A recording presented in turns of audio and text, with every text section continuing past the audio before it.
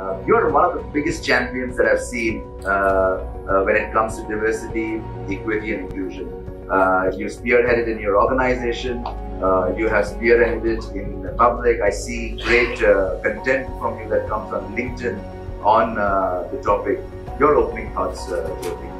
Well, um, I'd like to take on from what he mentioned, and if I can again refer to the corporate because that's what I stand for today, it makes absolute business sense. Like you mentioned, things about, and I, I, this is not my phrase, but it belongs to somebody else.